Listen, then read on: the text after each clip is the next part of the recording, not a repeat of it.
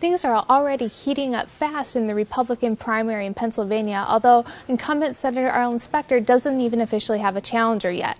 Uh, Arlen Specter recently called on Pat Toomey, who used to head up the Conservative Club for Growth, to disclose all donations made to his 501c4.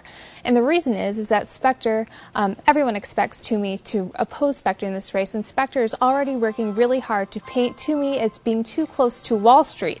And if you talk to the people supporting Toomey, they say this is a really foolish move by Arlen Specter because uh, Toomey and the club have opposed the, the TARP program while Arlen Specter voted for it um, while he was in the Senate. So um, it's really important to, to, watch this race to see what kind of role the bailouts are going to have in all the 2010 elections. And uh, it's going to heat up faster when Toomey finally does file those papers. So that's all for now. This is the backstory with Amanda Carpenter.